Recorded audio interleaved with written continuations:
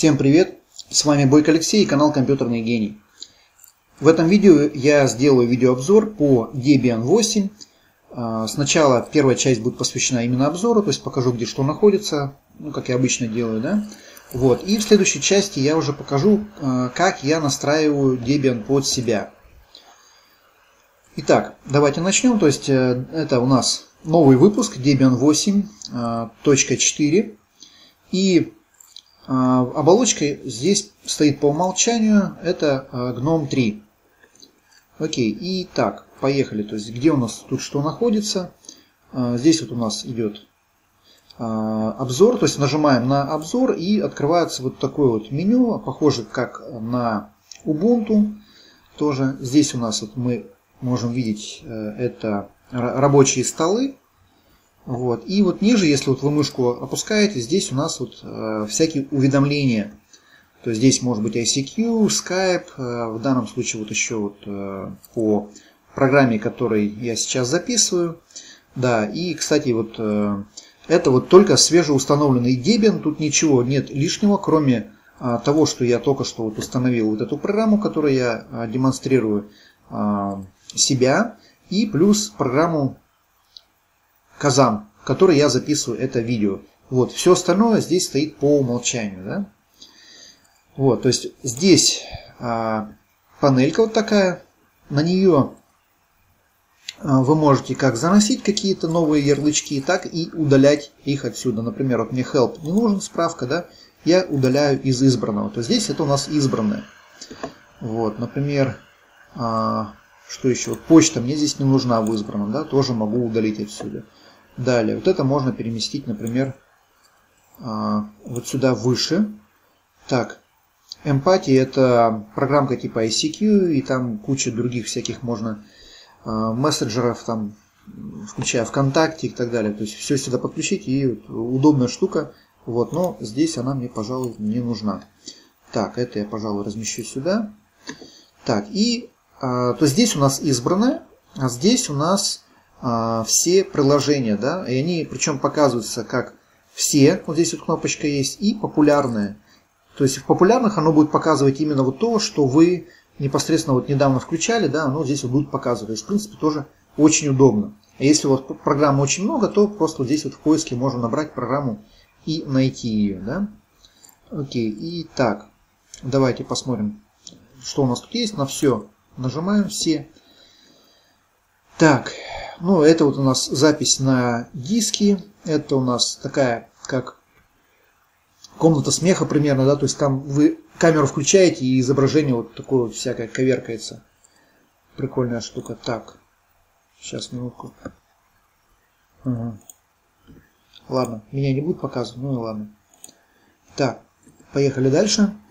Значит, это у нас как блокнот, это у нас графический редактор, GIMP. Так, далее это э, Казам, который я сейчас записываю видео данное, да, то есть LibreOffice у нас здесь есть, это аналог Microsoft. Вот это я добавлю в избранное, потому что этим я часто пользуюсь. Так, далее. Ну, тут у нас всякие игрушки на любителя, простые. Так, вот у нас, это потом я этого коснусь. Так, заметки, калькулятор, в принципе. Калькулятор тоже, наверное, я сейчас себе размещу. Так, калькулятор. Калькулятор я добавлю в избранное. Здесь календарь. Вы можете посмотреть дату, а, открыть часы, отредактировать дату, время и так далее. Да? Здесь язык переключается, раскладка клавиатуры, Wi-Fi, который вы используете. Так, и здесь, соответственно, а, выход, вход, перегрузиться. Пожалуй, давайте перейдем к следующей части. Это именно к настройке Debian, то есть я ее буду настраивать для себя, для того, чтобы я мог работать. Да? То есть вы можете это делать как-то по-другому, то есть вы можете сменить графическую оболочку, если вам не нравится именно вот э, такая система, не нравится GNOME, то, пожалуйста, можете установить, например, Cinnamon, и у вас будет тоже э, Linux Mint. Так, итак, давайте начнем. То есть первое, что я хочу сделать, это сделать так, чтобы вот у меня здесь были не просто крестики да, на закрытие окона, а еще свернуть и развернуть были. Да? Для этого мы переходим вот сюда, показать приложение. И здесь мы выбираем дополнительные параметры. Вот здесь у нас есть вот такой значок, как окна. Вот. И вот здесь нам нужно включить, развернуть и свернуть. И мы видим, что у нас уже все это дело здесь появилось. Да? Так, далее у нас автозапуск. Здесь мы можем добавить различные программы в автозапуск, чтобы при загрузке системы они автоматически у нас загружались. Так, верхняя панель показать дату можно. 17 апреля, секунды не будем показывать. Так, внешний вид. Так, здесь можно поменять внешний вид нашей вот, э, окон и так далее. Да? Так, вот здесь я хочу тему поставить другую. Здесь можно, например, нажать и видим, да, вот, то есть вот здесь вот окошки у нас изменились. Вот, и давайте посмотрим другие варианты, что у нас тут есть.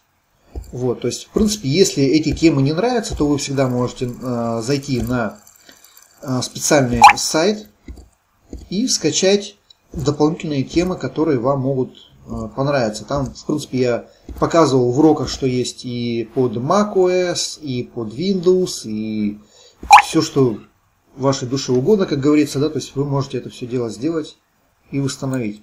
Так, что-то я тут не найду то, что мне нужно. Так, да, тут получается, когда еще дополнительно другие графические оболочки скачиваешь, что там еще дополнительные какие-то другие темы. Вот, и в принципе я там нашел одну интересную тему, и у меня она здесь не докачалась. Поэтому э, мне придется либо, ну, скорее всего, просто зайти на сайт, который ссылочку я вам дам на своем сайте. Э, и, в принципе, там можно скачать любую тему и установить ее. Так, да, тут у нас просто небольшой выбор получился, поэтому то, что я настраивал, то, что мне понравилось, я вам тут не покажу. Вот, но имейте в виду, что просто вы можете установить другие оболочки, либо просто скачать другую дополнительную тему, и у вас тут будут другие окошка. Так, ладно, тогда с этим окей.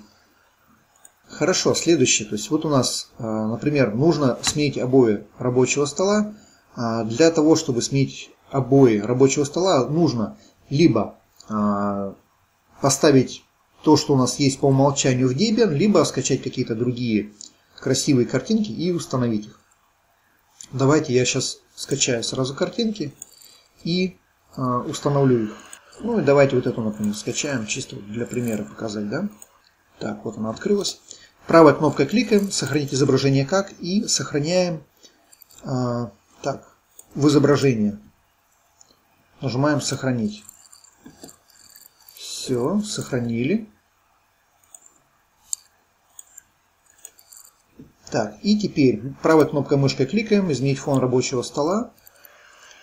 Так, и вот здесь кликаем фон. И можно выбрать либо из того, что у нас здесь есть, либо нажимаем на изображение и устанавливаем то, что мы с вами скачали. И нажимаем «Выбрать».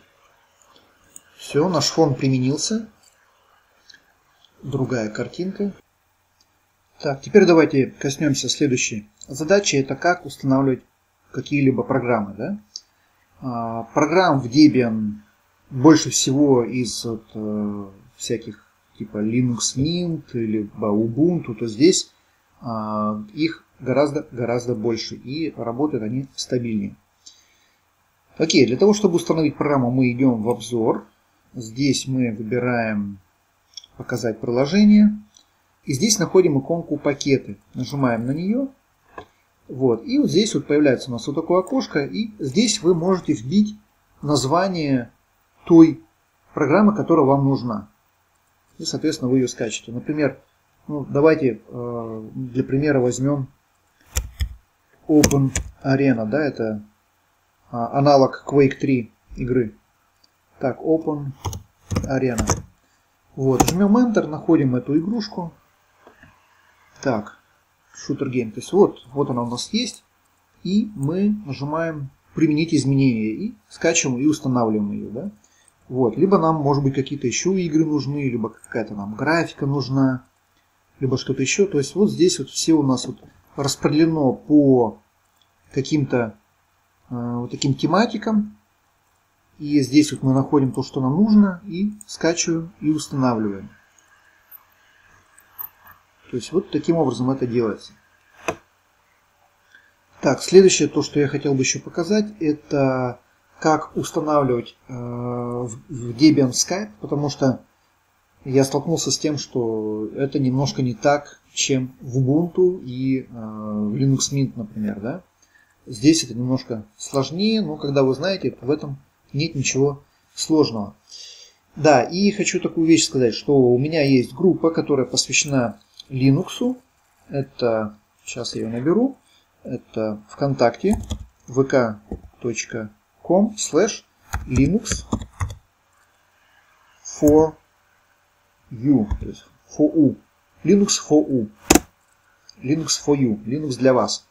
То есть вот такая вот группа. Здесь у нас есть меню. Вы нажимаете на меню. Здесь вы можете найти то, что вам необходимо. Правила о нас. Скачать Linux Mint. Я ее создавал, когда а, установил Linux Mint для того, чтобы, ну, во-первых, а, записать все необходимое для себя, чтобы ничего не забыть, где что находится, какие-то команды, которые могут мне помочь и так далее. Да? Вот. И после того, как я анонсировал э, свою группу, а, в обзоре по Linux Mint. Люди стали сюда подписываться, и в принципе я ее никак не раскручивал, просто люди по видео, видимо, переходят, под видео ссылочка там, и переходят, и вот уже у нас 197 человек накопилось. Вот, и что хочу сказать, что все вещи, которые касаются Debian, я вот здесь сделал специальную тему, и здесь вот записки по Debian. Вот, и э, мне очень сильно помог вот этот человек, зовут его Андрей Лампиев. Вот, он у нас здесь как консультант в группе, то есть вы можете к нему обращаться. А, он не против, потому что он уже как бы сам изъявил желание быть консультантом. Вот, и может ответить на какие-то ваши вопросы. Если я, например, не могу ответить на них, то у нас здесь в группе есть консультанты, которые могут вам помочь а, с какими-то вашими вопросами. Вы можете писать ваши вопросы вот в эту ветку, то есть вопросы от новичков. Вот, либо напрямую консультантам. Но лучше куда-то вот все-таки ветку, потому что, чтобы другие люди могли читать ваши вопросы, может быть у них тоже такая проблема, и они могли тоже решить свой вопрос. Вот, как видите, здесь люди уже задавали вопросы, и либо я, либо кто-то другой человек отвечал и помогали разобраться людям э, с этими проблемами. Вот. Итак, вернемся к скайпу. Да, и ссылочка на эту группу будет тоже под этим видео, вы сможете ее найти, ссылку на эту группу. Итак, вот у нас здесь записки по Debian, и вот здесь, здесь вот такая вещь есть. То есть вот у нас ВКонтакте, он почему-то вот эти вот два минуса или две черточки вот такие, он слепляет сплошную. А, сейчас они выглядят как два тире, но на самом деле там есть лишний здесь где-то пробел. Вот, поэтому лучше всего перейти вот по ссылке на источник. Вот, если сейчас посмотрим, если он доступен, а он доступен. Вот. И Skype установим именно вот по этим ссылкам. Да, но предварительно нам нужно будет с вами сделать следующую вещь. Это в терминале выполнить команду вот эту вот суда. Вот мы ее скопируем. Копируем. Так, идем в терминал. Так, терминал у нас вот он. Его, кстати, тоже можно добавить в избранное. Так, запускаем терминал. Вот, а, команду я скопировал. Теперь, чтобы ее вставить, мы нажимаем Ctrl-Shift одновременно, да, то есть держим Ctrl-Shift и нажимаем букву V, то есть вставить. То есть в терминале именно вот так это работает, по-другому вы не вставите в терминал, если вы что-то вы скопировали. Теперь жмем Enter и вводим ваш пароль, который вы вводили при установке системы. Так, ввел пароль. Вот, и у нас открывается вот этот список, который мы должны сейчас отредактировать, потому что если вы не редактируете его, то у вас будет ошибка, и Skype вы не сможете включить. По крайней мере, у меня это было так. Так, и вот здесь вот нужно вот перед этой строчкой, вот перед этой вот, поставить решетку. Вот, решетка просто э, означает комментарий. То есть вот это вот действие, оно не будет выполняться. И у вас будет все нормально. Так, и нажимаем Ctrl-S, сохранить, либо вот сюда просто сохранить нажимаете и сохраняете этот файл. Все, часть мы с вами сделали. Так, идем опять так, на нашу страничку. Вот, и теперь мы можем смело выполнять следующие команды. Так, берем вот эту команду. Да, это, кстати, тоже вот это официальный сайт Debian, поэтому тут с этим все нормально. Так, и опять мы идем в терминал, вставляем нашу команду и выполняем ее. Жмем Enter. Вводим пароль. Так, следующую команду делаем апдейт данных. Так, вводим.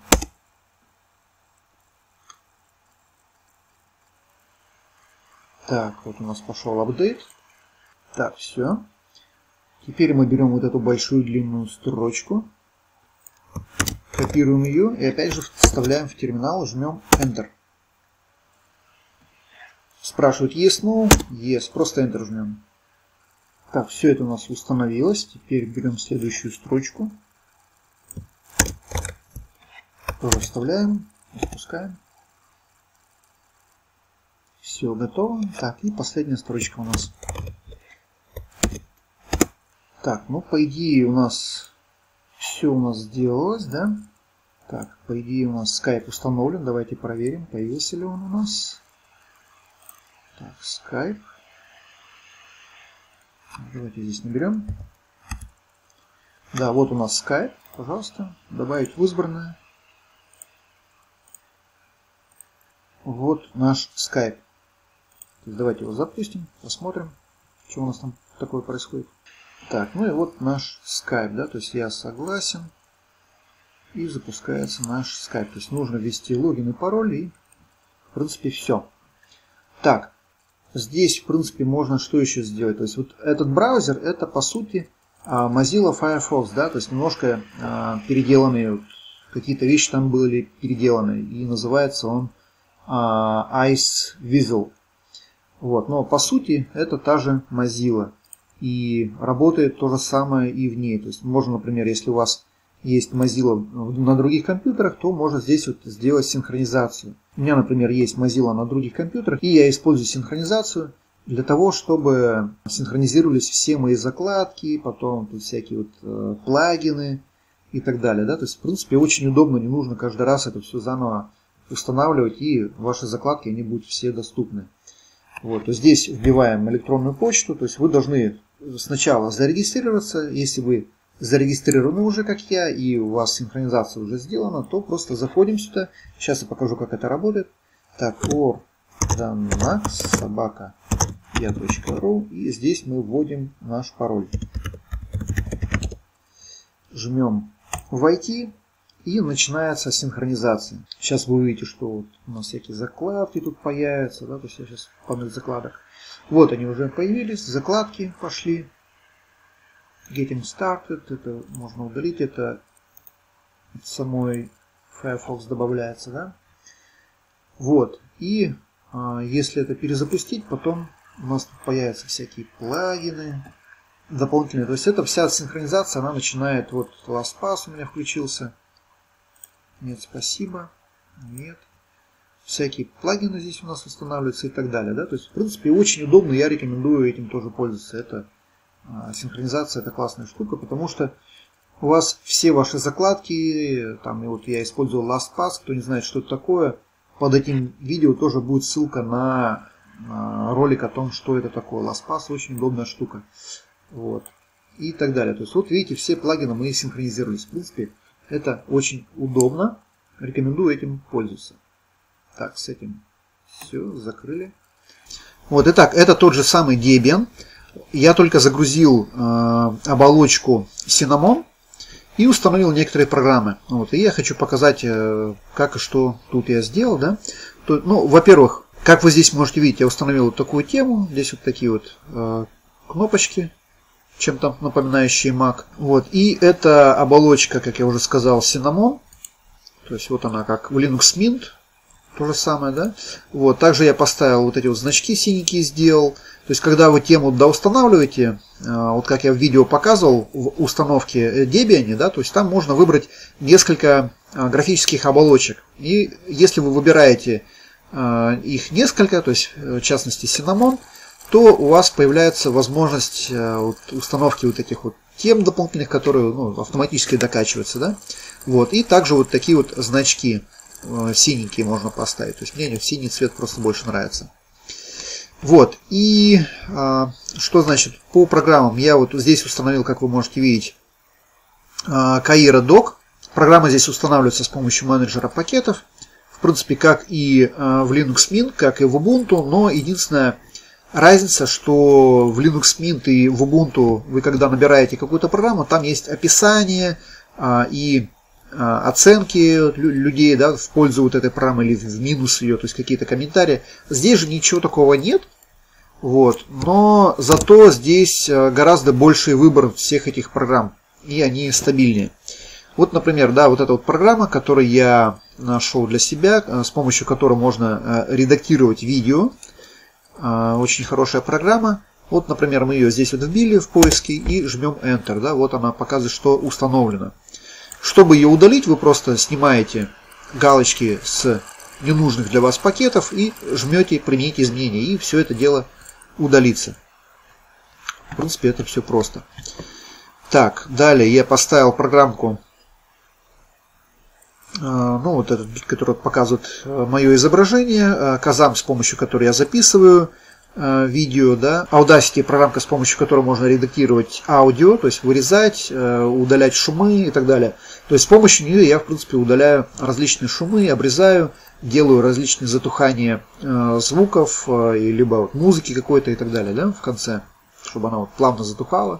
То есть это, в принципе, можно делать здесь, либо в видеоредакторах, ну, в зависимости от ситуации. Далее это проигрыватель обычный, как бы, ну, в принципе, мне он нравится, там даже можно радио запускать. Давайте я вам даже, наверное, покажу, как я запускаю радио. То есть вот у меня есть файлики. Вот здесь у меня есть радиофайлы, да, и вы можете просто их запустить и послушать какую-то музыку. То есть это музыка онлайн. То есть это вот музыка онлайн радио и в принципе тут э, самые различные радиостанции, которые можно слушать онлайн. А, если кому нужны вот эти вот э, радиостанции, то ссылочку на эти файлы я выложу на своем сайте. А, ссылка на мой сайт вы можете найти вот под этим видео. Ссылочка будет. Вы можете перейти, скачать, в принципе, чтобы вам не заморачиваться по поводу их а, поиска в интернете и установки. То есть это как бы тут Ничего сложного нет. Вот, и причем эти файлы, они подойдут как для Windows э, программ, так и для Linux. То есть они, в принципе, одинаковые. То есть если у кого а, есть программа, например, а, в Windows, называется она AIMP, то вот эти все файлы, они запускаются также и в AIMP. Это для а, Windows программка. Так, далее. Здесь еще есть такая интересная вещь, я ее не показал. Так, сейчас найдем, где она у нас есть. Это аудио-видео. Так, вот, видео похоже. Тут идет трансляция видеоканала, то есть, ну, по сути, телевидение, да, то есть, ну, правда, там на различных языках, итальянский, на русском я не смотрел, есть тут что-то или нет, ну, возможно, что-то и есть. То есть, эта вот программка, она установилась вместе с Debian, я просто как-то обнаружил, посмотрел. Ну, трейлеры к фильмам есть э, для Apple, да, то есть можно, в принципе, смотреть они, даже, по-моему, на русском. Так, вот, например, какие-то передачи. Что-то там можно посмотреть.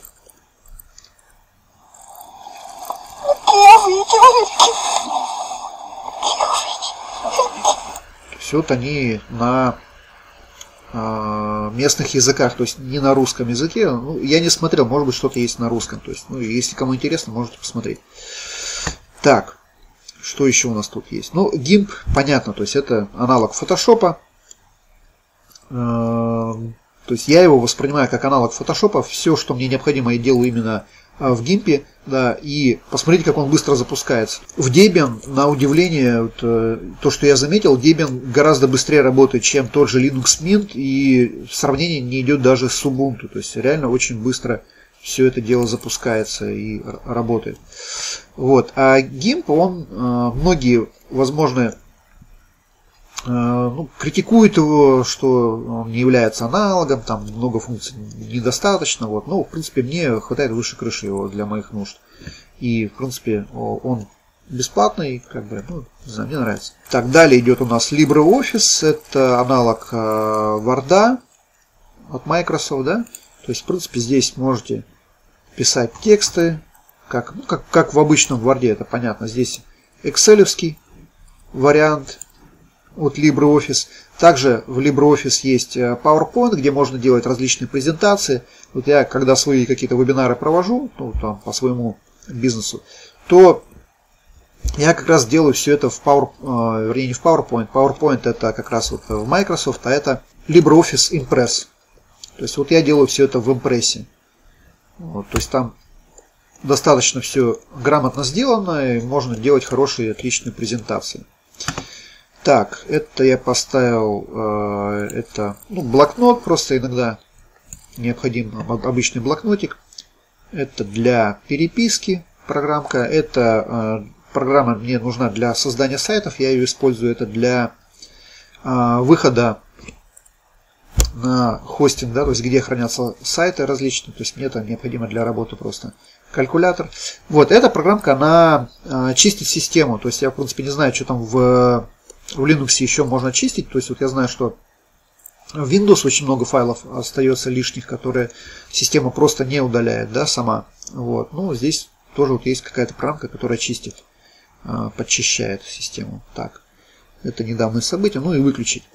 Вот, в принципе, вот еще я поставил, это э, программка для скриншотов. Dropbox еще я поставил. Вот. Да, еще кто-то там спрашивал, как ставить программы, когда, ну, вот, э, один вариант это вот вы их находите вот здесь, например, да, то есть в поиске. Другой вариант это когда вы идете на какой-то официальный сайт и скачиваете какие-то программы, например, тот же Dropbox, например, да, вот. И третий вариант это когда вы э, заходите в терминал. Вот у нас терминал. И здесь в терминал вбиваете специальные команды, которые устанавливают для вас э, какие-то программы. Ну, как вот я показывал Skype, да, устанавливал до этого. Вот. И сейчас я хочу вам показать, как устанавливать, например, программы для э, Debian там, или того же, той же Ubuntu, Linux Mint – как их устанавливать э, через интернет, например. Да? Вот если мы зайдем, скажем, давайте здесь возьмем Dropbox, например, да? Dropbox. Вот, и мы заходим на официальный сайт Dropbox и хотим, например, установить э, программу именно вот э, с их сайта. Мы нажимаем «Скачать приложение». А обычно, когда вы заходите с той операционной системы, в которой вы работаете, то есть вот я сейчас с Linux работаю, и тогда мне показывает именно для скачивания, именно для моей системы. То есть вот вы можете видеть 60 э, Debian, вот он 64, 32 бита, то есть я выбираю э, ту категорию, которая мне нужна, например, вот 64 бита, и скачиваю вот этот файлик. Жму ОК, он скачивается у меня. Вот, и я иду в загрузки. Иду в загрузки, вот, и пакет вот он у нас здесь кончается на точке dep. Это как раз э, установочный пакет. Вот. Два раза на нем кликать не нужно, как это обычно делают, э, делается в Windows. Да? То есть мы здесь правой кнопкой мышкой нажимаем и открыть в программе вот программу установки пакетов. И все, то есть у вас запускается установка, и вы просто далее-далее там как бы, и все у вас устанавливается. Я сейчас устанавливать не буду, потому что у меня Dropbox уже стоит. Но делается это именно так. То есть вы скачали пакет, правой кнопкой мышки, и установочной программой вы запускаете данный пакет. Вот, и все у вас будет работать. Три варианта. Первое, э, стандартный, это вы идете в менеджер пакетов, устанавливаете с помощью менеджера пакетов, а, второй вариант это через терминал с помощью специальных команд. Да? Вот. И третий вариант это а, вы идете на какой-то сайт, на котором вы скачиваете, ну, на котором есть что скачать, установить, скачиваете пакет и устанавливаете. Вот. Но стандартный способ это либо через терминал, либо через вот, менеджер пакет, используя именно те репозитории, которые уже есть по умолчанию, то есть стандартные. Если вы добавляете какие-то свои репозитории, тогда у вас есть шанс, что а, ну, вы можете таким образом ухудшить вашу систему, то есть э, сделать ее нестабильной, либо подцепить какой-то вирус и так далее. Да? Вот. А, в Linux, конечно, а, это очень сложно сделать, но как бы если вы пользуетесь стандартными репозиториями, то у вас не будет проблем с вирусами. Я пользуюсь Linux с 2011 года, и за это время э, у меня ни разу не было проблем никаких с вирусами. Вот. Поэтому, конечно, вирус подцепить можно, но шансов у вас очень-очень мало. В принципе, я на Linux никогда не использую антивирусные какие-то программы, потому что не вижу в этом смысла. Так, ладно, с этим мы разобрались. И последнее, то, что я хочу сказать, если вы хотите сменить графическую оболочку, то есть вот сейчас у меня, например, стоит э, Cinnamon, который используется в Linux Mint. Если я ее хочу, например, сменить и поставить э, какую-то другую оболочку, например, GNOME 3, либо еще какую-то, то для этого все, что нужно сделать, это э, завершить сеанс. Вы просто выходите из, э, из оболочки, да, вот этой, и как вот я до этого показывал, как вот выбирать оболочку, вы ее меняете при заходе и заходите уже в другой графической оболочки. Ну, вот, пожалуй, на этом и все. Если вам понравилось это видео, тогда ставим пальцы вверх, подписывайтесь обязательно на мой канал, делитесь этим видео с вашими друзьями. Если у вас есть какие-то вопросы или пожелания по следующим каким-то обзорам, либо по каким-то новым видео по Linux, по Windows, то обязательно пишите об этом мне в комментариях. Обязательно вступайте в группу по Linux, ссылочка будет под этим видео. Вы можете найти ссылку на мою группу по Linux системе. На этом все. С вами был Бойко Алексей. Всем пока.